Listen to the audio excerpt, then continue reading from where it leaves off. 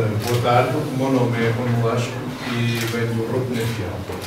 Uh, eu quero agradecer a oportunidade de poder estar aqui no, no evento deste, deste género, é o que eu estou, e quero, uh, quero falar um bocado de mim. Eu, eu então vivo em Penafiel, uh, nasci na Venezuela, a minha formação inicial é em Engenharia, Uh, no entanto, sou professor de informática há sete anos, cinco dos quais na Ilha de Santa Maria. A Ilha de Santa Maria está a 1400 km de Lisboa, uh, está no meio do Oceano Atlântico, tem 100 km quadrados, é a terceira mais pequena dos Açores e tem perto de 5.500 uh, habitantes.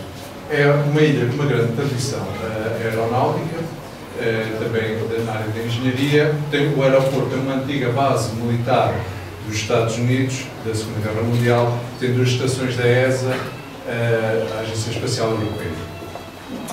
A escola tem 600 alunos, do quinto ano até ao, décimo segundo tem sempre professores, tem um ambiente bastante informal, acabou por ser um ambiente ideal para poder aplicar alguma das melhores práticas da engenharia, tais como objetividade, organização, especialização, cumprimento de prazos, mais velocidade, mais flexibilidade, parcerias e também zero burocracias. E isso acabou por permitir eh, que se realizassem bastantes projetos no curto espaço de tempo. Assim foram realizados 24 projetos, eh, sempre em ambiente extracurricular, fora do tempo das aulas, eh, envolveram 30 professores e perto de 200 alunos, sempre depois das aulas, sábados e férias. O critério de seleção foi apenas e só a vontade. A vontade que os alunos demonstraram, nunca houve limites a nível uh, das notas, uh, se tinha cada para aquela área, o aluno tinha vontade, era selecionado. o número de, projetos por ano foi sempre em número crescente. 2010 desenvolveram-se 2, 2011 4, em 2012 foram 5, em 2013 foi o maior número, foram 11 projetos. Em termos de temáticas, o primeiro ano foi sempre muito baseado no, em tecnologia, o primeiro e terceiro ano. Uh, a partir de 2013, alargou-se para outras áreas, tais como a cidadania, meio ambiente e também a literatura e arte. Uh, o ano de 2013 foi o ano com maior número de projetos, foi também o ano em que houve a primeira validação da metodologia fora da área uh, tecnológica e também foi o ano em que soubemos que existia uma coisa chamada Project Based Learning.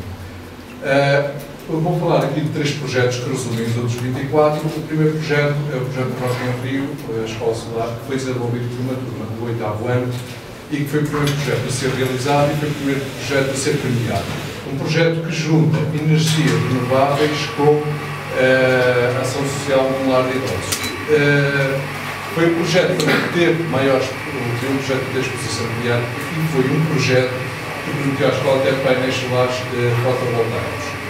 Eh, o segundo projeto é um dos jovens autores de histórias ilustradas, foi o primeiro projeto fora da área tecnológica, foi um, é um projeto que, organizado pela Nissan e que permitiu uh, à escola testar uh, uh, o método fora da área tecnológica. O terceiro projeto, que vos queria falar, é o projeto Cansado.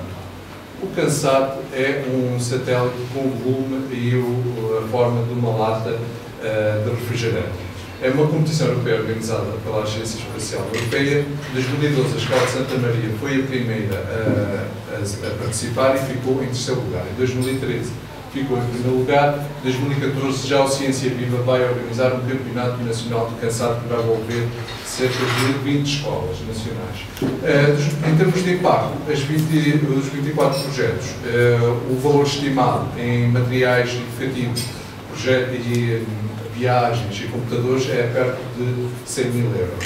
Em termos de impacto pedagógico, a escola, eh, graças ao potencial que os alunos começaram a ter e em conjunto com o trabalho desenvolvido por outros professores, permitiu à escola subir durante 5 anos, subir 357 posições. Em termos de aplicação na região norte, eh, com certeza, com as acessibilidades, eh, potencialidades que a região tem, Uh, será muito, muito bem sucedida a aplicação numa escola de Project Based Learning. Uh, queria agradecer uh, aos alunos de Santa Maria, aos encarregados de educação, por ter sempre confiado em mim, ao professor Mário Carvalho, também à minha esposa Rita Barbosa, por ter sempre acompanhado, e a todos vós por permitirem